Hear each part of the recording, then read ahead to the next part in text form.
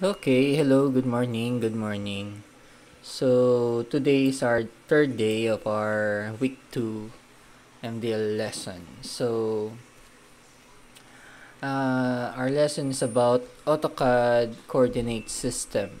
So, here our, our objectives are define AutoCAD coordinate system, drop geometry using different types of coordinate system, value the importance of the coordinate system. So, uh, so I have here a recorded lesson about our coordinate system. So, uh, we'll, we will watch this lesson para mas maintindihan nyo yung uh, uh, coordinate system and how it is used in AutoCAD. Okay? So, this recorded lesson is a recorded lesson last year. So, mapapasin niyo may mga kausap ako dito na estudyante. So, uh, don't them don't mind them. Just focus on what oh, what is the lesson is discussed here okay? So here is the lesson. So we're going to talk about coordinates.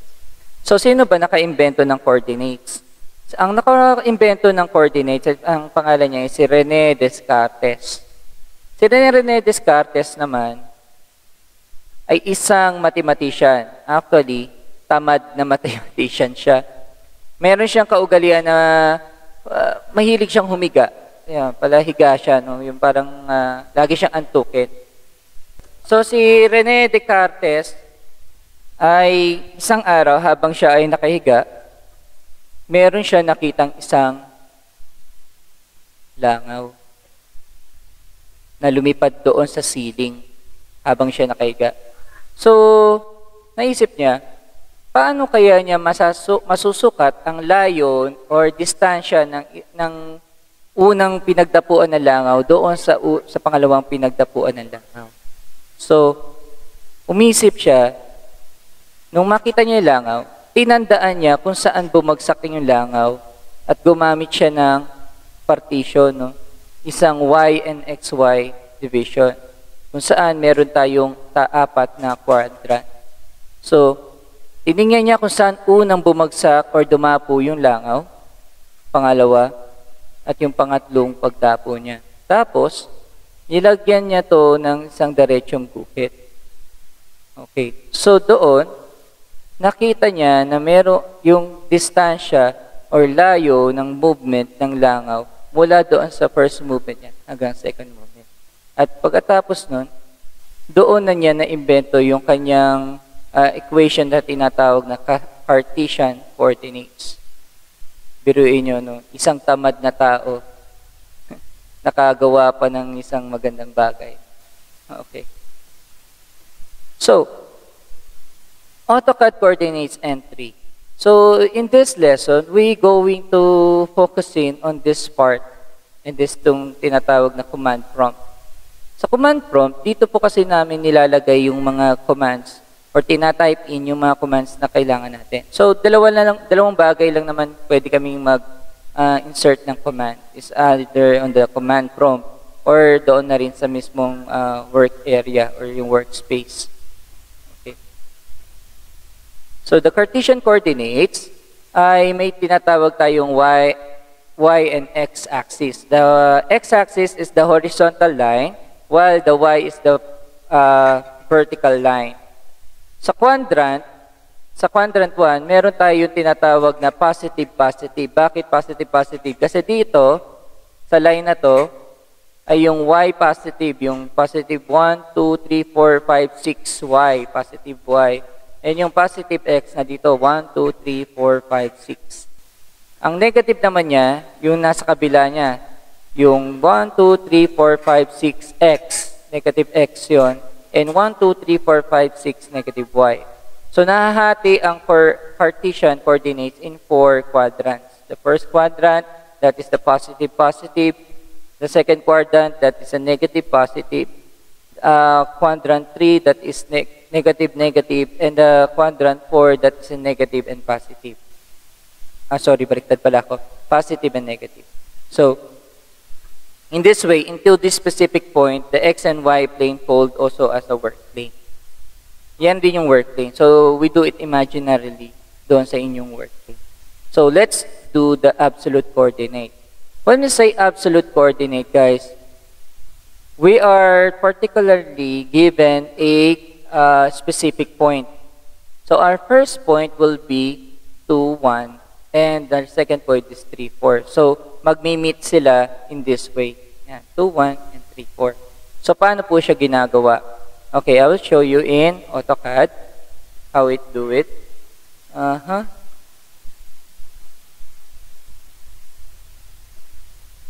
Share window. Teka lang. Baka bago ko ma- Ah, tama. Pwede naman. AutoCAD. Then, I'll get the specific or coordinate. Ayan. Ito yung specific coordinate niya. Okay. Pag nag apply ng text sa AutoCAD, you just simply uh, type enter. Yan, lalabas yung ano, option. Kasi pwede kasi kayong mag uh, pwede kayong mag-option dito by command sa ilalim. Yan, dito. Pwede naman dito, text. Then, lalabas yon You can edit now text. Or pwede rin naman dito sa screen. Uh, sa workspace. So, just enter. Eh, teka lang. Lumabas yung command prompt sa harapan ko. Okay, so enter. Text.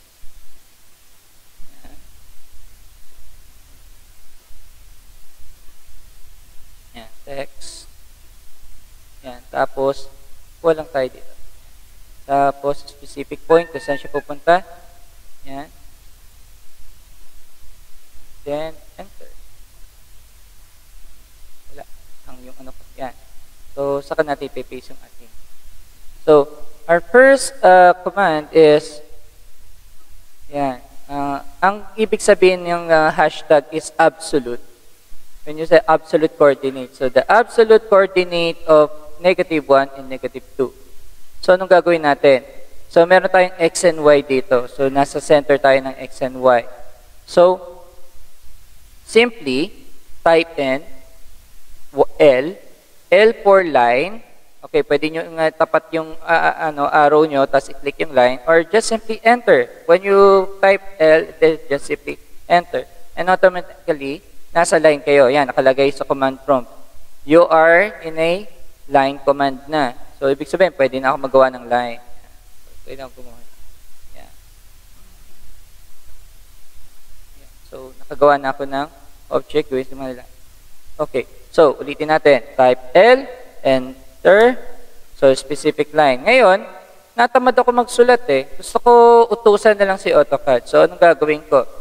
You do, you type in hashtag, that is absolute coordinate, your absolute coordinate, and then negative 2, comma, comma nga ba? Tapos, 1, then enter. Ayun, mapapansin nyo, automatic, galing ko lang to. Automatic, nagpunta siya doon sa coordinate ng negative 2. This is negative 2, tama? Negative x, 1, 2, yan, tapos, yung 1. Saan siya 1? Positive 1. Yung positive ng y, 1. So, doon siya pumunta. Tama siya. Ngayon, kailangan natin pumunta doon sa ano? Sa uh, absolute coordinate ng 30, ano, 3, positive 3 and positive 4. So, hahanapin ko ba dito? Pwede nang hindi. Pwede nyo turo, ano, sabihan si AutoCAD na siya na gumawa.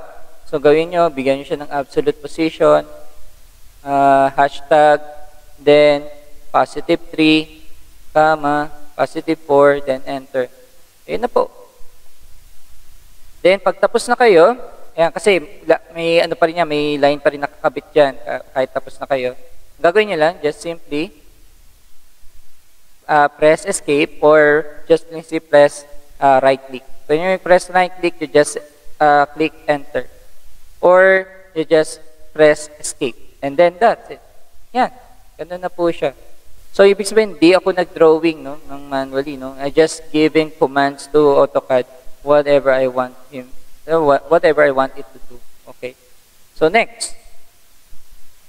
Uh, next natin, aha, Slides tayo, slides.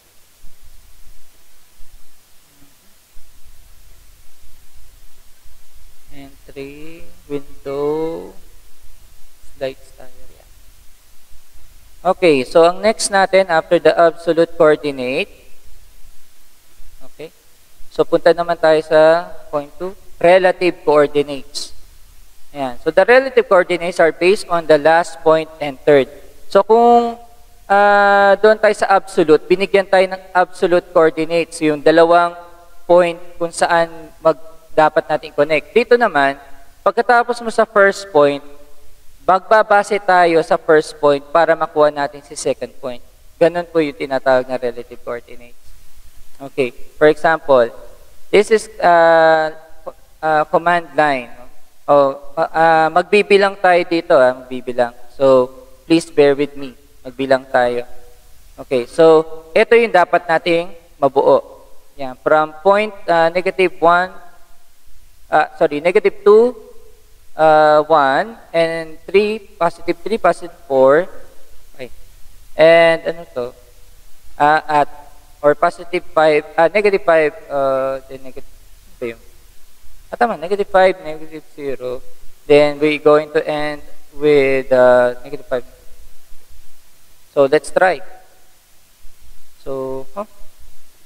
balik tayo sa presentation ng AutoCAD.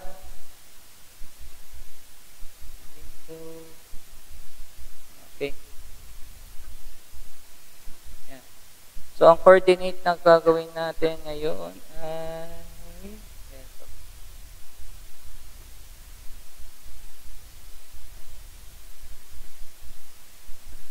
So, uh, okay. So, kung gusto nating tanggalin to, Madali lang. Just simply Control Z. O, kung paano ginagawa natin sa Word and document, ganun lang rin yan. Then, type in text. Text. Then, enter. Show location. Then, enter. Oh, sorry. Yan. Then, okay. Masyadong malaki. So, command na gagawin natin, just grab it, then scale. Escale. Ay.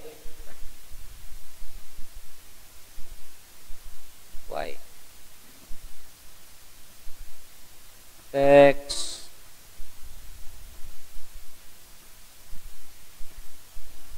Yan, ganyan. So, ang gagawin natin ngayon is uh, relative. Okay, relative. Okay, so first command is L, then enter. Ay, sorry, mali yung command. L, enter. Then specify the first point. Our uh, first point is absolute, uh, negative 2, negative 2, positive 1. Um, positive 1. Okay, so yun uli siya. Doon na siya, doon sa first point natin kanina.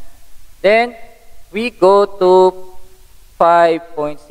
Okay, pag sinabing at, ibig sabihin, ang zero natin ay magsisimula na ngayon kay uh, first point to 1. So, ang magiging ano natin is yung, yung symbol ng at. We call that relative. Okay, so relative of positive 5 and 0.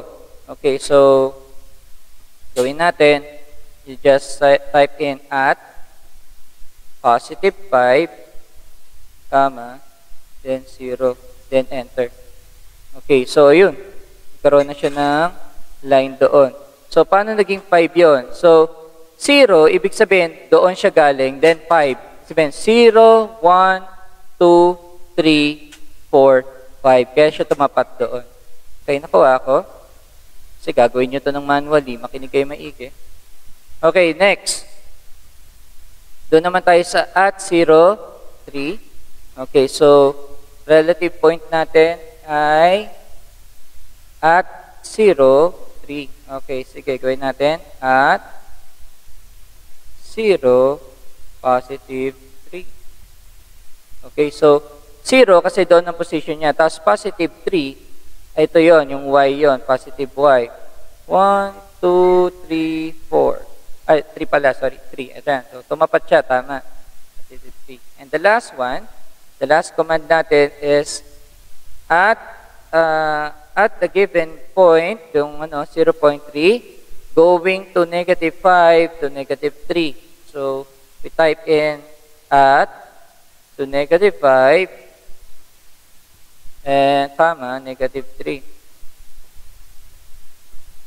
Okay, so nangyari, nag-connect siya doon sa first point natin. So, nagawa na natin yung image. So, ano ulit? Pagtapos na, you just simply type exit or escape. Wala, sorry. Okay, so yan. Tapos na, nagawa na natin yung relative coordinates. Okay, another.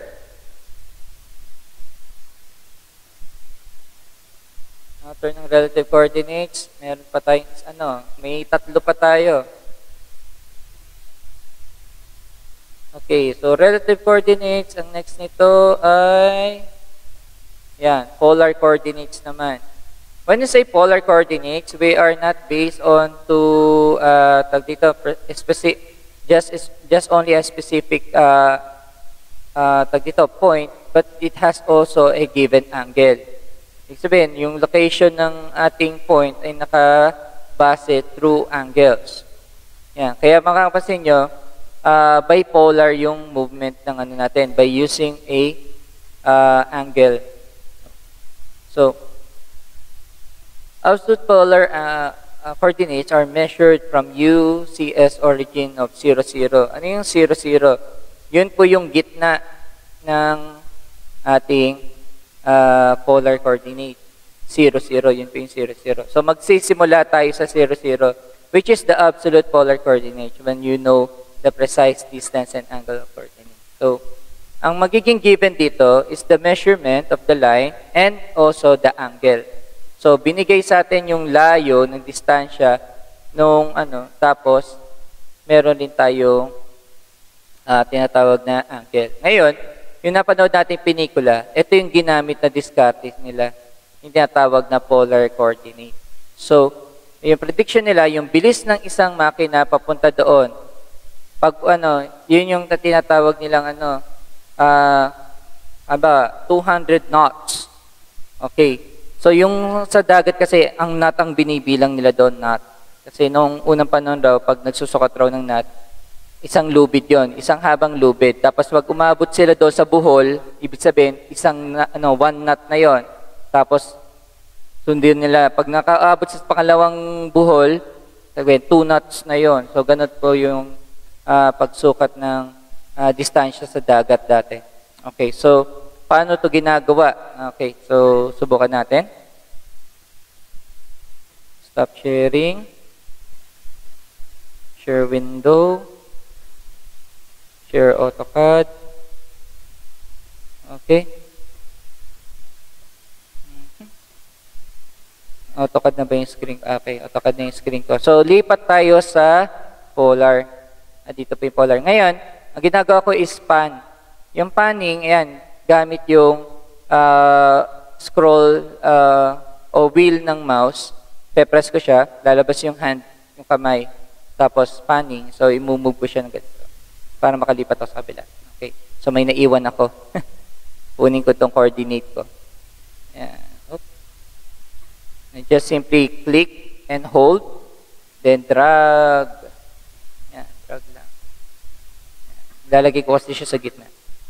Kasi siya ang zero eh. Siya yung gitna natin. Okay. So snap, mag-snap yan. Okay. Yan na. So nandito na tayo sa coordinate. So ang first coordinate natin ay 0. Okay, so mag-start draw tayo sa 0. So, paano tayo mapapunta sa 0? Madali lang. Oh, type nyo lang 0, comma 0. 0, comma 0. Nalimutan ko yung hashtag. Okay, absolute location. Absolute location. Ay, wala pa pala akong L, kaya nga pala. Okay, yan. Absolute location, 0, 0. Ayan. So, yun. Automatic, napunta na ako doon sa gitna. No? Dumikit na yung line ko sa gitna. Ngayon, Mag-start tayo dito. So, ang first, ah, ano ba yung given dito? Sabi dito, aha, okay. Ano ulit? Sige lang.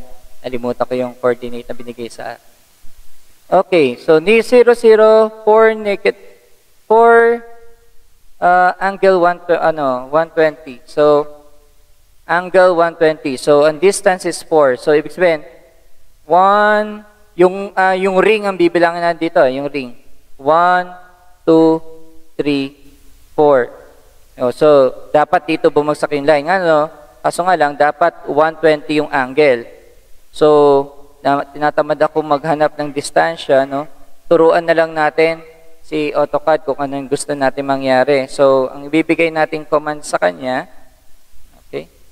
Ang command natin sa kanya is uh, at uh, absolute coordinate, and absolute coordinate for, ibig sabihin, 4 inches.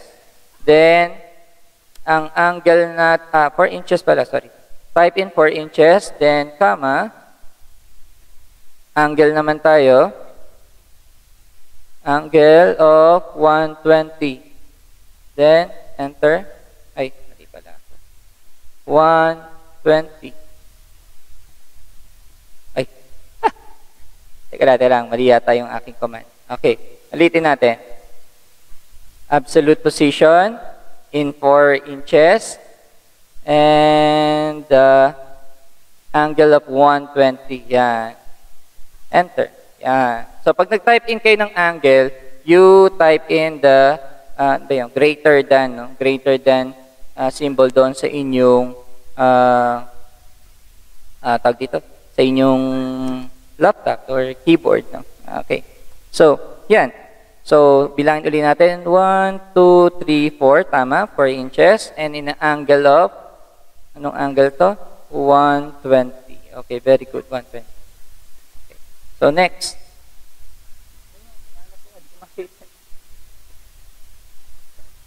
Okay, so uh, let's continue. Sunod tayo after ng absolute polar coordinates. Punta naman tayo sa next slide. Okay. So, ang next slide natin ay tinatawag na relative polar coordinates. Okay, so katulad rin to ng uh, relative coordinates kanina, kaso nga lang polar naman tayo based on angle tayo. So, ang first point ang basis natin, then yung second point, then yung third point. Okay, so ganun lang po yan.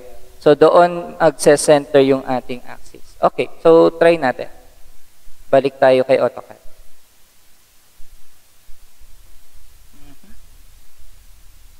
Window, AutoCAD, Share. Okay, so tapos na tayo.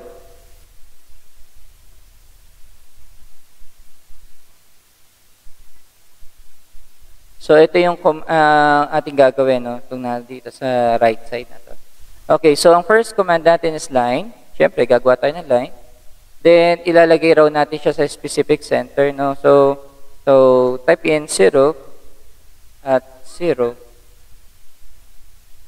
yan, so naka naka-lock na siya doon sa center. Okay, ngayon, meron tong angle o uh, may measure of 3 inches by 45 degrees. Okay, so lagyan natin at 3 inches in the angle of 45 degrees. Then enter. So, yun siya. Then, ang next point natin is at 5, angle of 285. So, ang gagawin natin dyan, just simply type in relative coordinates, that is at, at 5 in the angle of 285. 285. Okay. So, enter. Ayun na siya. Bumaba siya doon. So, uh, 285, yan. So, bumaba siya doon. So, yan. Ganun lang kasimple yung ano niya. Okay. So, May question pa kayo tungkol sa absolute and relative? Saan kayo nalito? Oh, question ulit, guys. Ano? Kasi may Um, sir, ako Oh, yes. meron. Yes, Mark. Um, saan po namin gagawin? Documents po or sa mismong Ah. CAD software po? Okay, kasi dito sa dahil komplikado, wala tayong software ng AutoCAD. So, mangyari, magdo-drawing kayo muna ng graph. Kung meron kayo dyan na yung math, yung sa math, yung graphing paper, okay, pwedeng yun muna ang gamitin nyo as a, for this activity. Kasi alam ko naman, di lahat kasi kayo may pwedeng magkaroon ng AutoCAD eh, no? Ah, alam ko yun. Ah, naiintindihan ko yun. So, sa, para ma maintindihan lang natin yung lesson na to, doon natin siya gagawin. Okay, kung wala kayong graphing paper, siguro naman dumaan kayo sa manual drawing ni Ma'am Batas, kayang-kaya nyo naman gumawa ng equal boxes, no? Pwede po yun sa, ano, sa notebook. Sa notebook, ano? Yung sa not notebook po. Ah, yes, oo, tama. Then after you solve the given quest, uh, problem, you just take a picture and send it to your uh, Google Class, uh, Google Classroom. Uh, naka, nakalink na yon doon sa classroom niya kung napansin nyo. Oh, Yung last, sa kapag classroom po ba yung gagawin namin? oh, apo? Nasa classroom. Wala pa ka ba sa classroom, Stephanie? Kasali po. O kasali. O, meron nakapost doon asa, ano yung one of your assignments, no? Nakakalagay na doon. Okay, so naglagay ako doon. Anyway, I send you the link para directly kang pupunta doon. Uh, Siyempre, ayoko kayo mahirapan, no? Uh, bibigyan ko kayo ng link mamaya pagkatapos ng lesson natin. So, wala na kayong question? Kung, kayang-kaya nyo naman, mangungopia lang yata yung iba eh. Nag-aantay na lang yata ng sagot ng uh, kaklase niya. Okay. Sa bagay, pag nangopia kasi kayo, hindi naman kayo natuto eh. Oo. Uh, huwag yung gagawin yun. Hindi magandang gawain yung pangungopia. Dapat nagpupusa kayo. Okay. So, punta tayo sa next slide natin.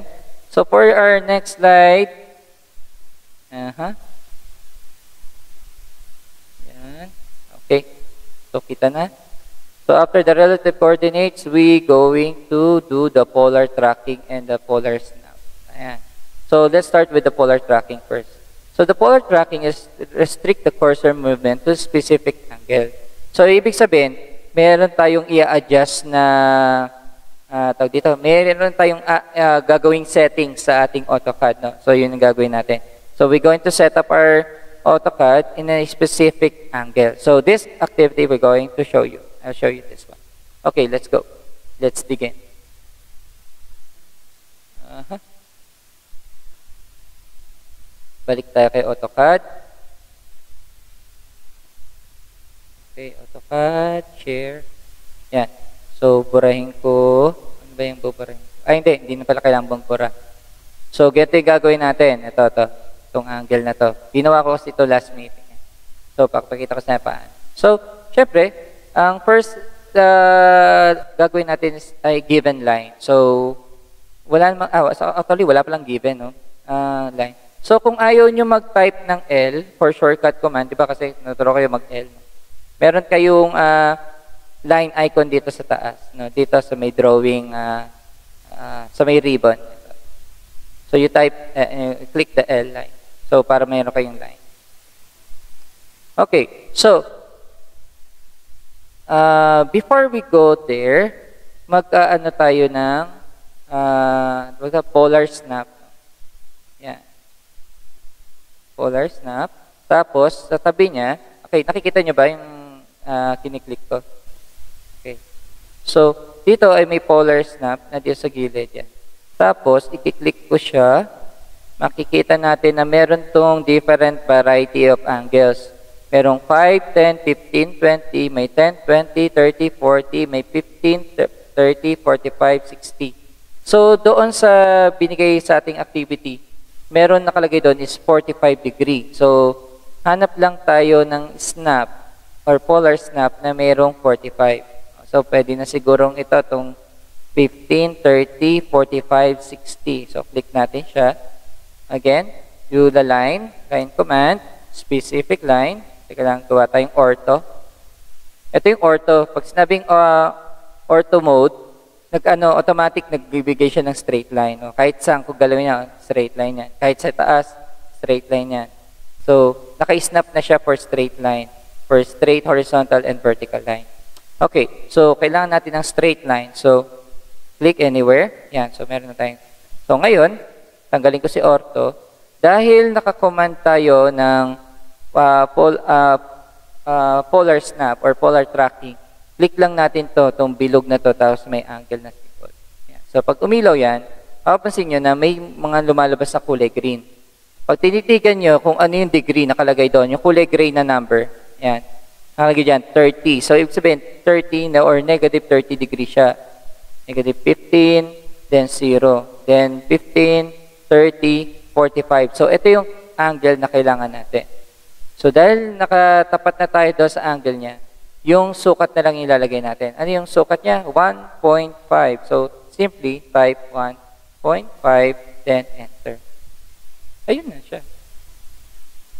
Yan, napaka-accurate.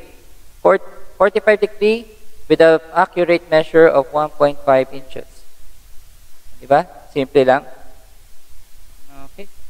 So, ganun lang po kadali yan. Yung ano, 1.5 cm pala to. cm. Sorry for talking about inches. No? Naka-metric nga pala ako. So, na 1.5 cm. So, ganun ka bilis mag-develop ng drawing through by command. Okay, next. Okay, kaya nga ako, pwede rin ako mag-AutoCAD nang wala akong mouse eh. Pwede rin niya mag-AutoCAD nang wala mouse. Nasubukan ko yun, kaso nga lang, syempre, hindi ko, hindi ako bihasa. Pero nakabuo ko. Pero, yun nga lang, matagal. Kasi may iba kasi mas magaling sa ganun. Okay, ito, balik tayo sa slides. After ng ating polar tracking, pupunta tayo sa polar snap naman. Ano yung polar snap? So, let's show the window. Sa polar snap naman, okay, attention ako, nahihilo na kaya, papalit-palit ako ng screen, ha? Okay, sa polar snap, uh, ha? Ayan. So, dito, meron tayo tinatawag na di, ano, direct distance entry. Kung saan, uh, ayan, pinakita ko na sa inyo yung, ano, no, yung uh, kayang gawin ni ortho, no, ortho mode. When you uh, set up your uh, your works into ortho mode or your line into ortho mode, automatically it gives you a very straight or a perfect straight line of uh, horizontal and a vertical line. It snaps automatically in your uh, con uh, computer in uh, interface. No? Okay, so balik tayo kay ano. So, present window. So, gawa tayo ng ano. So, nakatanggal yung ortho natin, no? So, yung ortho, ito yon Yan, lalabas yan. Ortho. So, when we click ortho, ano, ortho uh, icon, or if you want to have the simple, uh, the fastest way to click ortho is to type in or click in uh, F8. No? Click nyo or type, uh, push the button F8. so, click natin yung F ortho. Then, automatic. Yan. So, ay, wala pa pala akong line. So, line. Enter. Then, click. So, automatic, no, kahit saan pumunta yung aking uh, cross, ano, crosshair, no, ay nadoon lang siya, no, hindi siya nababago yung lugar, no. Maliban na pagpunta ako sa bandang itas niya, pupunta naman siya sa vertical position or yung vertical or 90 degree niya.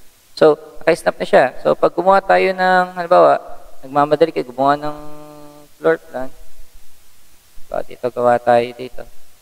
L, enter, click. Ganun lang. Tapos gusto niyo tumapat yung line dito, naka-snap yan, yung kulay green niya. Pag ganun, tapat yung ganyan, oh, pak, automatic, then connect, snap, to perfect square. Tapos, ganun lang po kasimple, di ba? Ayan. So, ayan. naghang ang aking. Yeah, okay. So, line ulit tayo. Line, enter. Line, enter. Then, specific point. Pa. Yeah. So, ganun lang. Kabilis. Kumuha ng uh, boxes using ortho design. So, dali lang. Ngayon, pwede rin siyang given, ano, bawa, bigyan nyo siya ng saktong sukat. Halimbawa, di ba, ang square naman is perfect. Ah, ang measurement ng all sides niya. So, type in nyo, 10. Ano ba? Punta kayo sa kanan, type in 10. Tapos, punta kayo sa taas, type in 10. Punta kayo sa kaliwa, type in 10. Punta kayo sa baba, type in 10. Yan. So, meron kayo kayong square. So, meron na kayong square na equal ang sides. Okay, kung duda kayo, uh, parametric, annotate. Yan. Lagyan natin ng linya.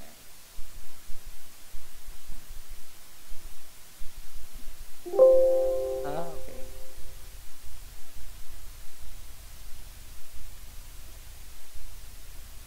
Yan.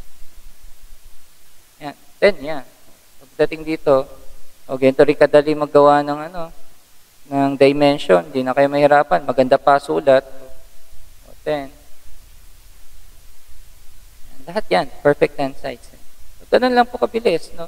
So, bumibilis ang trabaho natin. Tapos, precise pa at mga malinis. No? So, that is the use of AutoCAD. Okay, next.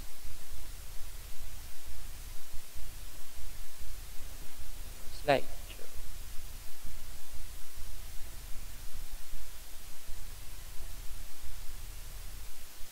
Okay, so that's all for today. So everything that happens in our lesson ay may kinalaman sa langaw. Okay? Sabi sa akin ng kabilang section, lamok raw to. Pero napakatabang lamok, no? Nakahigop siguro ng ano. Okay, so langaw po yan. okay, so ito po yung magiging activity niya today. Okay, if you want the soft copy of this uh, activity, I will send you the tawag dito, yung activity doon sa classroom. Yan. So, ang gagawin nyo dito, halimbawa, sa 2, sa 2, 2, alin dito sa ah, sa mga uh, dito, sa location na to, sa mga mga points na to, eh nakalagay si 2, 2. So, ibig sabihin, positive 2, positive 2. So, magbe-base kayo kay positive y and positive x. So, doon lang kayo titingin. So, remember this, no? Ang nga pala, tinuro ko to sa mga bata para mas madali lang maintindihan pagdating sa uh, giving you another technique. So, type in ko dito sa Ayaw lumabas. Ah, okay. Ito na pala.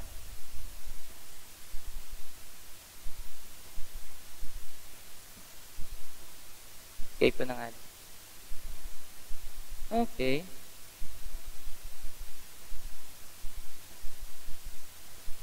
Mm, window.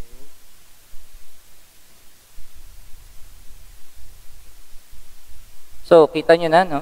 Ah, okay. So, insert tayo na. So, tandaan nyo, ang position ng ng ating ano is laging x and y. Oo. Yung mga nang iwan sa atin at tanong natin bakit tayo iniwan. So, mga ganun, no? Okay. Yan. So, x muna, then y. So, lahat ng mga given na binigay inyo, about 2, 2, 2, 2, ay nakatapat, yung nasa left side, nakatapat siya sa x. At yung mga nakatap, nakatapat sa right ay mga y. Ito naman, yung negative 6, ibig sabihin, ang tinutukoy dyan yung negative x, then 2. So, ganun po yan. Tapos yung 1, negative 4. Okay. For example, um, hmm, sagutan ko kaya si si number 5. Negative 4, ayan, negative 4 by negative 2. Okay. So, aha, stop sharing tayo.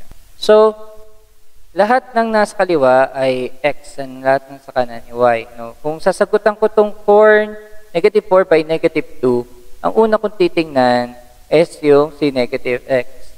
So, nasa si negative x? Ito po siya. Yan. So, si negative x na dito. So, ito yung coordinate niya. Yung line na to. Itong haba na. Ay, lumipat. okay. So, ah, nasa naman ang negative 2? Ang negative 2 is yung negative y.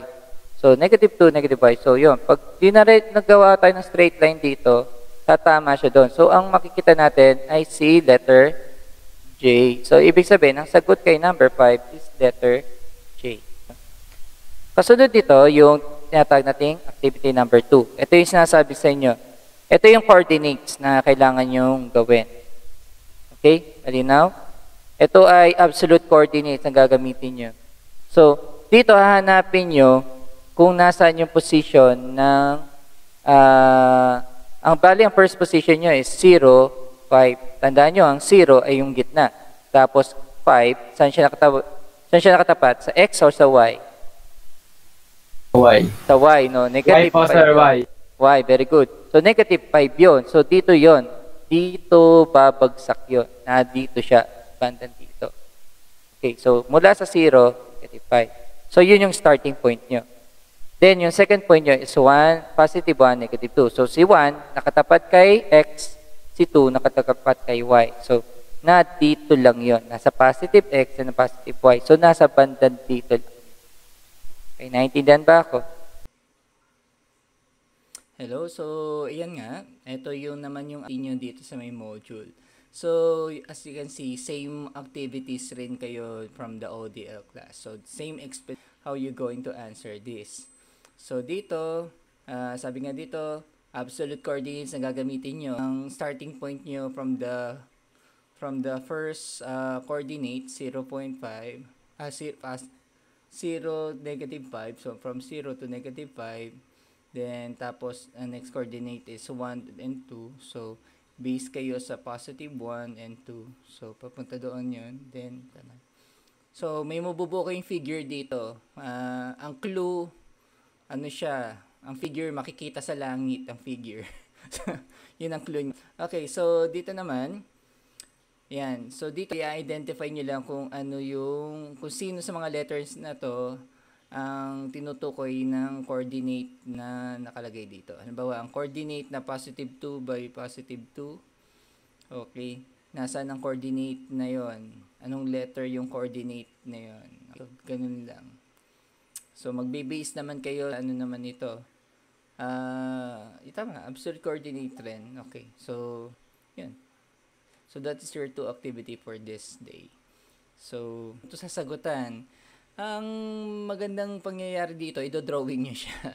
ido-drawing nyo yung graph, no? So, para mapakita natin na, uh, uh, yun, yun nga, para maipakita nyo yung buong coordinate system. So, ang mapipilita kayong mag-drawing ngayon ng graph. Pero kung meron kayong graphing paper like yung sa math nyo, pwede nyo gamitin yun as your ano uh, graphing paper. Then, uh, gupitin nyo, dikit nyo na lang sa papel kung saan nyo nilagay yung iba nyo pang sagot, no? Yan. So, ganun rin dito. Ah, dito naman, hindi nyo na kailangang i-drawing to, tong activity 8, kasi ang kailangan ko lang naman dito yung sagot nyo. Yan, kung nasaan dito yung uh, coordinate, kung anong letter ng coordinate na tumutukoy doon sa to, ano, positive 2, negative, uh, negative by 2, positive 2, yan. So, hanapin nyo lang yun. So, ito, uh, malamang ido-drawing, ito hindi. Okay, so malinaw. So, yun lang ang inyong activity for this. And thank you for, uh, for listening to your video instruction for this morning. So, salamat and mabuhay kayo lahat.